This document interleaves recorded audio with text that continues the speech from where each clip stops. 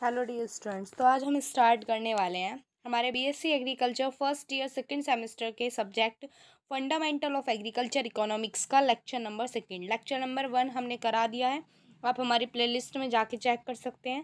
इससे पहले मैं आपको बता दूँ कि हमने फ़र्स्ट सेमेस्टर की सारी क्लासेस कराई हैं। तो आपके जो भाई बहन या जो कोई भी जिसको भी नीड है, आप उसको, उससे शेयर कर सकते हैं। हमारे जो फ़र्स्ट ईयर के फ़र्स्ट सेमेस्टर के जो चैप्टर्स हैं उनको, काफ़ी सारे, काफ़ी हद तक इम्पोर्टेंट टॉपिक्स वगैरह हमने करा दिए हैं फ़र्स्ट ईयर के फ़र्स्ट सेमेस्टर के। तो आज लेक्चर फ़र्स्ट हमने करा दिया है, जिसमें हमने इकोनॉमिक्स एग्रीकल्चर इकोनॉमिक्स की बेसिस चीज़ें देखी थी कि एग्रीकल्चर इकोनॉमिक्स है क्या। ठीक है, उसका वर्ल्ड कहाँ से आया, वो डेफिनेशन वगैरह, और कुछ डेफिनेशंस थी कौन कौन से साइंटिस्ट ने दिए जो इम्पोर्टेंट है, वो देखा था। आज हम लेक्चर सेकेंड पढ़ने वाले हैं, जिसमें कुछ कुछ टॉपिक्स कवर करने वाले हैं। एंड हाँ एक बात और कि आप हमारा टेलीग्राम चैनल जिस, जो हमारा, इस चैनल का नेम है, उसी से ही हमारा टेलीग्राम चैनल ग्रुप बना हुआ है। उसको आप ज्वाइन कर सकते हैं। उस पर आपको लेटेस्ट इन्फॉर्मेशन मिलती रहती है और नोट्स भी मिल जाते हैं। ठीक है? तो चलिए स्टार्ट करते हैं। फ़र्स्ट टॉपिक जो है, आज हमारे होने वाले हैं तो डिज़ायर इच्छा। नीड हमारी ज़रूरत डिमांड जो हमें चाहिए law of demand and type of demand ये कुछ टॉपिक्स हैं जिनको आज हम करने वाले हैं कि भाई ये जो टॉपिक्स हैं, ये हमारे क्या होते हैं कि डिज़ायर क्या होता है, इच्छा होती है। डिज़ायर एक वर्ड है, क्या होता है डिज़ायर हमारी इच्छा होती है, अब वो इच्छा हमारी किसी भी चीज़ के लिए हो सकती है। ठीक है? हो सकती है भी ऐसा, हो सकता है। हाँ हो सकता है कि जो हमारी डिज़ायर है, जो हमारी इच्छा है, वो हमारी किसी भी चीज़ के लिए हो सकती है। ठीक है? तो क्या है? सिंपली क्या है?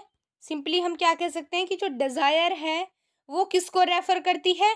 किसी भी एक पर्सन की विश को, किसी भी एक पर्सन की विश को कि कोई पर्सन है, उसकी इच्छा क्या होगी? किसी भी एक पार्टिकुलर कमोडिटी के लिए। तो डिज़ायर की डेफिनेशन क्या होगी? Desire simply refers to the mere wish of a person to have a particular commodity एक पार्टिकुलर कॉमोडिटी जिस पर्सन के पास है, उसकी कोई भी इच्छा को रेफर करते हैं डिज़ायर इच्छा को रेफर करता है। इसका मतलब क्या होता है? इच्छा। नीड का मतलब क्या होता है? ज़रूरत। अब नीड नीड क्या होती है? जब हमारी कोई इच्छा होती है, ठीक है? जब हमारी कोई इच्छा होती है वैन यू हैव डिज़ायर तो you have enough resources for a particular commodity then it's a need ठीक है? क्या कहते हैं कि हमारी कोई इच्छा है, लेकिन हमारे पास जो स्रोत हैं, जो रिसोर्सेज हैं कोई भी इम्प्लीमेंट्स हैं, वो क्या है? एक प्रॉपर मात्रा में है लिमिटेड है। तो क्या फिर क्या होगा कि हमारी कुछ ज़रूरत है और उस ज़रूरत को पूरे करने के लिए हमारी कुछ ज़रूरत सॉरी हमारी कोई इच्छा है उस इच्छा को पूरी करने के लिए हमारी कुछ ज़रूरतें होंगी, क्योंकि हमारे पास जो रिसोर्सेज हैं, वो क्या है? लिमिटेड तो इसकी डेफिनेशन क्या हो जाती है? When you have desire and you have enough resources for a particular commodity then it is a need ये क्या होती है? हमारी नीड ज़रूरत। अब आगे बात करते हैं डिमांड जब हमारे पास कोई इच्छा होती है किसी भी चीज़ के लिए और कहा गया है कि इनफ रिसोर्सेज होंगे, ठीक है? तो हम रेडी होते हैं कि कोई भी शोर्स को पे करने के लिए। ठीक है? अपनी कोई भी इच्छा के लिए, अपने किसी भी रिसोर्स को हम पे करने के लिए होते हैं कि हमारे पास मान लीजिए कोई स्रोत है ठीक है? वो हमारे लिए बहुत ज़रूरी है और हमारी कुछ और इच्छा है तो हम उसको, इच्छा को पूरी करने के लिए हम अपने उस स्रोत को, उस रिसोर्सेज को जो हमारे लिए इम्पोर्टेंट है, हम उसको पे कर देंगे, नहीं करेंगे? ये होता है डिमांड किसी चीज़ की डिमांड करना। फिर है law of demand law of demand tell us that demand and price of a thing have negative relation ठीक है? अब बात करते हैं कि लॉ ऑफ़ डिमांड क्या होता है? लॉ ऑफ़ डिमांड क्या होता है कि लॉ ऑफ़ डिमांड हमें बताता है कि जो डिमांड डिमांड है और जो किसी भी थिंग के थिंग के प्राइस है, वो हम पर क्या डालते हैं? नेगेटिव रिलेशन कैसे? कि मान लीजिए हमें कुछ, कोई चीज़ चाहिए, हमारी कुछ चीज़ के लिए डिमांड है तो क्या होगा? अगर वो जो डिमांड है हमारी, वो हमारी इतनी पक्की है कि कुछ भी कर सकते हैं हम उसके लिए तो कुछ भी कर सकते हैं तो मतलब कुछ नेगेटिव कदम भी उठा सकते हैं। तो डिमांड और जो प्राइस है किसी भी थिंग के, उस पर क्या डालती है? नेगेटिव इम्पैक्ट डालती है, उनका नेगेटिव रिलेशन है दोनों के बीच में। ठीक है? Such that when the price of something goes up मान लीजिए किसी चीज़ के प्राइस जो है गोज अप चले गए then its demand goes down तो उसकी डिमांड क्या हो जाएगी? डाउन हो जाएगी। अगर प्राइस हाई होंगे तो जब तो डिमांड हाई होगी, अगर प्राइस ही कम हो जाएँगे तो क्या सोचेंगे लोग कि भाई, नहीं, ये जो चीज़ है, ये बहुत मंदी है तो कुछ नहीं है इसमें। जब प्राइस जो है किसी चीज़ के घट जाते हैं तो उसकी डिमांड बढ़ जाती है। और जब किसी चीज़ के प्राइस जो है वो घट जाते हैं तो क्या होता है? डिमांड बढ़ जाती है। और अगर प्राइस ज़्यादा होते हैं तो डिमांड घट जाती है। ठीक है? ये होता है लो ऑफ़ डिमांड अब बात करते हैं टाइप ऑफ़ डिमांड डिमांड के टाइप की बात कर लेते हैं। प्राइस डिमांड होगा एक तो एक इनकम डिमांड होगा, एक क्रॉस डिमांड होगा, एक जॉइंट डिमांड होगा, एक ड्राइव डिमांड ठीक है? कौन कौन सी डिमांड होंगी? एक तो प्राइस डिमांड होगा, जो किससे रिलेटेड होगा? प्राइस से। एक हमारा इनकम डिमांड होगा, जो किससे रिलेटेड होगा? इनकम से। एक हमारा क्रॉस डिमांड होगा, जो किससे रिलेटेड होगा? क्रॉस से, कि अगर डिमांड बढ़ती है तो पैसे भी घटते बढ़ते हैं। एक जो इन डिमांड होगा, जो दोनों से ही रिलेटेड होगा, पैसों से भी और इनकम से भी। एक तो ड्राइव्ड डिमांड होगा, कौन सा? ड्राइव्ड डिमांड ठीक है? चलो, अब बात कर लेते हैं हमारे नेक्स्ट टॉपिक की। अगला टॉपिक क्या है? कि सब्जेक्ट क्या क्या मैटर करता है हमारी इकोनॉमिक्स के लिए, कि क्या क्या कौन कौन सा सब्जेक्ट जो है हमारी इकोनॉमिक्स के लिए मैटर करता है, ठीक है? और कौन कौन से मॉडर्न अप्रोचेज है। कौन कौन से ट्रेडिशनल अप्रोच और मॉडर्न अप्रोच दो अप्रोचेज दिए गए थे, ठीक है? ट्रेडिशनल अप्रोच और मॉडर्न अप्रोच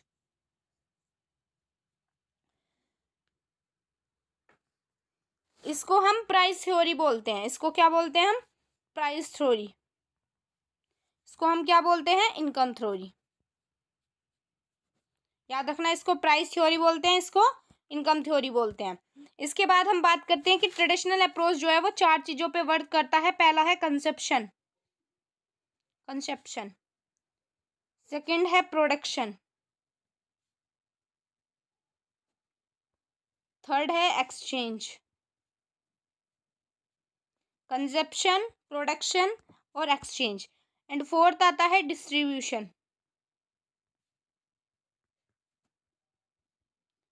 फिफ्थ है हमारा पब्लिक फाइनेंस क्या होता है फिफ्थ हमारा पब्लिक फाइनेंस अब इन पाँचों के बारे में पढ़ लेते हैं, हमारा फिफ्थ है। ये पाँच चीज़ों पर वर्क करता है कंजप्शन प्रोडक्शन एक्सचेंज डिस्ट्रीब्यूशन और पब्लिक फाइनेंस अब प्रोडक्शन क्या होता है? प्रोडक्शन होता है क्रिएशन ऑफ़ यूटिलिटी यूटिलिटी का क्रिएशन करना क्रिएशन ऑफ़ यूटिलिटी ये क्या होता है हमारा प्रोडक्शन किसी भी यूटिलिटी का क्रिएशन करना। मतलब किसी की भी इच्छा को क्या देना? जन्म देना। जैसे कि आइसक्रीम आइसक्रीम खाने की हमारी इच्छा होना। यानी कि आइसक्रीम वाला क्या करता है? आइसक्रीम वाला आइसक्रीम बेचने आता है। क्या करता है? हमारे अंदर उसकी क्रिएशन ऑफ़ यूटिलिटी यानी कि उसके प्रति क्या उठाता है? यानी कि खाने के लिए हमारे अंदर क्या जागरूक करता है वो? यूटिलिटी खाने की इच्छा को पैदा करता है। ये होता है प्रोडक्शन आगे बात करते हैं। सेकेंड था हमारा प्रोडक्शन के बाद। कंसेप्शन कंसेप्शन रह गया। ये फ़र्स्ट था प्रोडक्शन। कंसेप्शन होता है, कंसेप्शन होता है process of satisfying, of human wants यानी कि किसी भी इंसान की इच्छा को पूर्ति करना, यानी कि यूटिलिटी का डिस्ट्रक्शन होना, जैसे कि आइसक्रीम। आइसक्रीम क्या है? एक ह्यूमन की इच्छा है तो ह्यूमन वॉन्ट्स का स्थापित करना मतलब उसका जन्म जन्म नहीं देना मतलब उसकी इच्छा को पैदा करना तो प्रोडक्शन में आ जाएगा। और कंसेप्शन का मतलब है कि इच्छा को पैदा करने वाली चीज़ बनाना, जैसे कि आइसक्रीम अब एक्सचेंज आता है। एक्सचेंज क्या होता है? किसी भी चीज़ को खरीदना और बेचना, जैसे कि आइसक्रीम को खरीदने, जैसे कि मैं आइसक्रीम को खरीदा और ख़रीदने वाले, मैं ख़रीदने वाला हूँ और आइसक्रीम बेचने वाला क्या है? सेलर तो ख़रीदना और बेचना क्या इसमें आता है? एक्सचेंज बाय और सेलिंग थर्ड आता है डिस्ट्रीब्यूशन ठीक है? डिस्ट्रीब्यूशन का मतलब होता है कि शेयर ऑफ़ एनी प्रोडक्ट किसी भी प्रोडक्ट को शेयर करना। जैसे कि एग्ज़ाम्पल है, मैंने अपना जो मैंने आइसक्रीम ली है, वो मैंने किसी और को भी खिला दी तो अपने प्रोडक्ट को क्या किया मैंने? शेयर किया। अब ये भी तीन चार तरह से होता है ये जो शेयर का वर्क होता है, जिसको मैंने क्या कहा था अभी, ये क्या होता है हमारा डिस्ट्रीब्यूशन ठीक है? ये क्या होगा? Rent wages interest profit rent क्या होगा? फॉर पे रिवार्ड ऑफ़ लैंड ठीक है? रिवार्ड ऑफ़ लैंड वेजेस क्या होगा? लेबर। Reward of land. किसका होगा? लैंड का। इसी तरह से ये जो सेकंड वाला वेजेस किसका होगा? रिवार्ड ऑफ़ लेबर का रिवार्ड होगा। इसी तरह से ये जो इंटरेस्ट है, ये किसका रिवार्ड होगा? ये होगा हमारा कैपिटल इनकम का। इनकम। इसी तरह से जो प्रॉफिट होगा, वो किसका होगा? रिवार्ड ऑफ़ ऑर्गेनाइजेशन, कि मतलब किसी भी फैक्ट्री को क्या होता है? मुनाफा, ठीक है?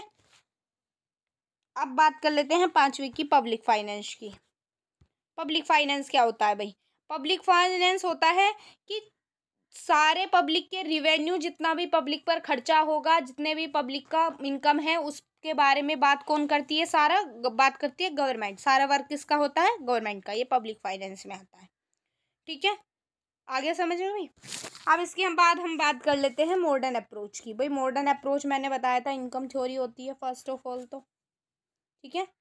ये हमारी माइक्रो भी बोलते हैं। ये हमारी माइक्रो होती है माइक्रो माइक्रो या ये किस एलोकेशन ऑफ़ रिसोर्सेज इंडिविजुअल के रिसोर्सेज को क्या करती है? एलोकेशन डिसीज़न जो है वो इंडिविजुअल लेते हैं, जैसे कि हाउस होल्ड फार्म यानी कि मैंने वो बताया था ना कि पाँच हज़ार रुपये आपको दिए गए हैं और आपको उसी से सारा खर्चा करना है तो डिसीज़न कौन लेगा? जो घर का मालिक होगा। ठीक है? ये भी आगे समझ में? इसके बाद है, ये माइक्रो ऐसे काम करती है। अगर मैक्रो की बात करें तो रिसोर्सेज जो हैं, वो सभी जगह, एक जगह नहीं, सभी जगह, सारी जगह पर अलाउ कर देते हैं। यहाँ पर जो सारे डिसीजंस हैं, वो एक ही जगह पर सारे एक साथ मिलकर लेंगे, वो माइक्रो होगा। ठीक है? जो कैसे, जैसे कि सारी इनकम या फिर नेशनल इनकम या फिर टोटल एम्प्लॉयमेंट कितने होंगे, ठीक है? जैसे कि बहुत सारी फैक्ट्रियाँ हैं, एक किसी ने भी खोल रखी हैं, एक बहुत सारी फैक्ट्रियाँ खोल रखी हैं अपने अकॉर्डिंग और उन सारी फैक्ट्रियों का एक ये डिसीज़न ले रहा है, सारी फैक्ट्रियों का डिसीज़न एक मालिक ले रहा है कई कई जगह खोल रखी हैं, ठीक है? तो वो किसमें आएगा? मैक्रो मॉडर्न अप्रोच में, और माइक्रो माइक्रो माइक्रो में कौन सा आएगा कि हमारा कोई घर है, उसके घर का सारा खर्चा कौन संभाल रहा है? एक आदमी, ठीक है? आता है हमारा माइक्रो में, समझ में आ गया? एक और चीज़ बात कर लेते हैं, factor of production, factor of production. है फैक्टर ऑफ़ प्रोडक्शन क्या होता है? जैसे कि वीट है। क्या है? गेहूँ। उसका ही प्रोडक्शन करना है हमें। तो क्या होगा? उस प्रोडक्शन के लिए इनपुट फैक्टर्स हमें क्या क्या चाहिए होंगे? भाई लैंड की ज़रूरत होगी फर्टिलाइज़र की ज़रूरत होगी, बीज की ज़रूरत होगी, सिंचाई की ज़रूरत होगी लेबर की ज़रूरत होगी कैपिटल की ज़रूरत होगी। इन चारों चीज़ों की ज़रूरत तो होगी किसी भी चीज़ को के प्रोडक्शन के लिए। तो क्या होता है? Transformation of input to into output, यानी कि इनपुट से आउटपुट की तरफ़ क्या होता है? ट्रांसफॉर्मेशन। वो किसमें आता है? हमारा प्रोडक्शन में। अब बात करते हैं फैक्टर ऑफ़ प्रोडक्शन क्या होते हैं? शीट और वीट। शीट से वीट बनना, इनपुट से आउटपुट निकलना, वीट होगा, जो आउटपुट निकलेगा। समझ में आया? यानी कि जो सीड है वो इनपुट है, आउटपुट क्या दे रहा है? वो हमको वीट दे रहा है। तो प्रोडक्शन क्या होता है कि जो भी हमें एक इनपुट फैक्टर्स क्या क्या होंगे? Land, seed, fertiliser, irrigation, labour और capital. Land labour capital organisation और उसका ऑर्गेनाइजेशन का मैनेजमेंट, ठीक है? अब देखो, land fixed factor, natural and good factor. कैसे होते हैं? जो लैंड है, वो एक फिक्स फैक्टर है और गोल्ड का दिया हुआ है। फैक्टर्स जो होंगे प्रोडक्शन के, वो क्या क्या होंगे? पहली तो होगा लैंड, भूमि। वो एक फिक्स्ड है नेचुरल है और गोड का दिया हुआ है और ये अपनी ओरिजिनल फॉर्म में पाया जाता है, ये होगी लैंड की। इसकी फर्टिलिटी अलग अलग होती है अलग अलग जगह पे और reward of reward of land किसको बोलते हैं? रेंट को। ये हमने पढ़ा था। रिवार्ड ऑफ़ लैंड डिस्ट्रीब्यूशन में आता है, किसको बोलते हैं? रेंट को। हम इसकी भूमि की किसी भी चीज़ को चेंज नहीं कर सकते, जो नेचुरली होगी, जैसी भी होगी। सेकंड क्या आता है? हमारा लेबर लेबर में क्या होता है? लेबर हमेशा एक एक्टिव फैक्टर होता है, ठीक है? उसको हम एक जगह से दूसरी जगह पर लेके जा सकते हैं। ये क्या होता है? हाईली पेरिशेबल होता है, ठीक है? वो वर्क करेगी तो उन्हें पैसे मिलेंगे, वर्क नहीं करेगी तो उन्हें पैसे नहीं मिलेंगे, ठीक है? ये क्या होता है? ये हमारा वीक बार्किंग पावर होती है इनके पास, क्योंकि ये कैसे होते हैं? परकिशेबल यानी कि अगर इन्होंने कहा कहीं पर जाकर कि मैं इतने ही पैसे लूँगा, इतने से कम पैसे में काम नहीं करूँगा और हमने उसे नहीं रखा तो उसका क्या हुआ? पूरा दिन खराब गया। रिवार्ड ऑफ़ लेबर किसको बोलते हैं? वेजेस को। रिवार्ड ऑफ़ लेबर जैसे रिवार्ड ऑफ़ लैंड किसको बोलते हैं? रेंट को। इसी रिवार्ड ऑफ़ लेबर किसको बोलते हैं? वेजेस को, ठीक है? इट इज़ अ लेबर ये मोबाइल है बट लेस मोबाइल है मोबाइल तो है, लेकिन ये लेस मोबाइल है। मतलब इसे ये चल फिर तो सकती है, इस लेबर को कहीं भी लेके जा सकते हैं, लेकिन पास पास दूसरे देश में तो एक देश की लेबर को नहीं लेके जा सकते। सिर्फ़ कहाँ लेके जा सकते हैं? दूसरे विलेजेस में लेके जा सकते हैं, ठीक है? और लोकेलिटी लाइव ठीक है? और लोकेलिटी लाइव होती है लेबर्स की, यानी कि लेबर क्या है? वो अगर हम बाई चांस उसे लेकर जा सकते हैं दूसरे देश में तो वहाँ पर उसे किस किस किस चीज़ में दिक्कत आएगी? लैंग्वेज में, क्योंकि जो लैंग्वेज होगी वो लेबर की और जो दूसरा स्टेट है उसकी क्या होगी? डिफरेंट डिफरेंट होगी। ठीक है, समझ में आया क्या होती है कि एक्टिव फैक्टर होती है? ठीक है, और अगर हम ये क्या होती है कि अगर वर्क करेगी तो इसको पैसा मिलेगा, और अगर ये वर्क करने में ज़्यादा पैसा मांगती है और हमने कहा कि नहीं, हमने नहीं करवाना वर्क तो इनका पूरा दिन वेस्ट जाता है। और ये एक मोबाइल है, मोबाइल तो है बट प्रॉपर नहीं है, लिमिटेड है कि मतलब इसको हम लेके जा सकते हैं, बट स्टेट टू स्टेट भी लेके जा सकते हैं, लेकिन कंट्री टू कंट्री ले जाने में बहुत प्रॉब्लम होगी। ज़्यादातर विलेज टू विलेज लेके जा सकते हैं लोकल विलेजेस में ही, क्योंकि ये बाहर के विलेजेस की लैंग्वेज पहचानने में इनको बहुत दिक्कत होगी। तो ये लेबर है। और रिवार्ड ऑफ़ लेबर किसको बोलते हैं? वेजेस को। और रिवार्ड ऑफ़ लैंड किसको बोलते हैं? रेंट को। अब बात करते हैं कैपिटल की। अब किसकी बात करते हैं? कैपिटल की। अब देखो कैपिटल में क्या होता है। कैपिटल एक मैन मेड मटेरियल है। पैसिव फैक्टर है। मतलब वो चल नहीं सकता अपने आप, ठीक है? फर्दर प्रोडक्शन के लिए जब हमारे पास पैसा आता है तो हम उसके किसके लिए यूज़ करते हैं कि आगे को प्रोडक्शन किया जा सके? ये हमारा एक वेल्थ का साधन है। है नहीं? वेल्थ का ही तो साधन है, ठीक है? और इसी वेल्थ को हम क्या, लेकिन वेल्थ जो जो कैपिटल है वो सारी हमारी वेल्थ होंगी, लेकिन सारी वेल्थ हमारी कैपिटल नहीं होंगी, ठीक है? रिवार्ड ऑफ़ कैपिटल किसको बोलते हैं? इंटरेस्ट को। इसको हम कहीं भी लेके जा सकते हैं, ठीक है? और ये हम वर्क करें ना करें, ये जब भी हमें आएगी, ठीक है? वेल्थ कंज्यूमर और कैपिटल कंज्यूमर जैसे कि wheat rice cloth food capital जैसे कि मशीनरी। मशीन तो हमारी चलती रहती है भाई, मशीन तो हमारी चलेंगी ही, ये कैपिटल में आता है। Consumer wheat rice cloth food जो कंज्यूम होते हैं। ठीक है, समझ में आ गया आप कैपिटल का भी सिस्टम इसके बाद बात कर लेते हैं ऑर्गेनाइजेशन ऑर्गेनाइजेशन में सारे जो फैक्टर्स हैं वो क्या होते हैं? ऑर्गेनाइजेशन या फिर मैनेजमेंट बोल सकते हैं, सारे फैक्टर इसी में मैनेज होंगे, सारे फ़ंक्शंस ठीक है? कि कहाँ पर कौन सी मतलब कैसी, कैसे कैसे फ़ंक्शंस होने चाहिए, कैसा कैसा इनोवेशन होना चाहिए, कैसे कैसे चॉइस होनी चाहिए, कैसे कैसे लोकेशन होना चाहिए, कैसे कैसे लोगों को वर्क करना चाहिए। ये सब किसमें आएगा? ऑर्गेनाइजेशन में, ठीक है? तो हमने क्या पढ़ा? लैंड लेबर कैपिटल और ऑर्गेनाइजेशन इन चारों के बारे में पढ़ा कि क्या होते हैं हमारे, ठीक है? तो समझ में आ गया होगा economics traditional approach modern approach ठीक है, ये कि इसको प्राइस इनकम थ्योरी बोलते हैं, इसको क्या बोलते हैं?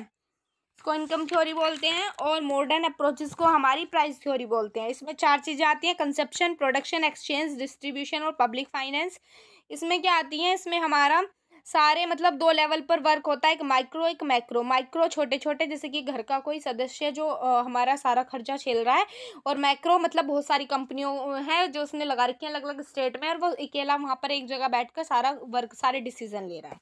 ठीक है, ये मॉडर्न अप्रोचेज में। अब कुछ प्रोडक्शन पढ़ा था प्रोडक्शन क्या होता है? उसके फैक्टर्स पढ़े थे इनपुट और आउटपुट लैंड लेबर कैपिटल ये सब। ठीक है?